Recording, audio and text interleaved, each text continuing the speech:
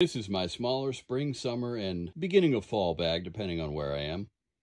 It weighs about 10 pounds, but now it weighs about 13 pounds. I added a silky saw. This is the Silky Gomboy Outback, and I keep the 32 ounce water bottle full. So it's a little heavier.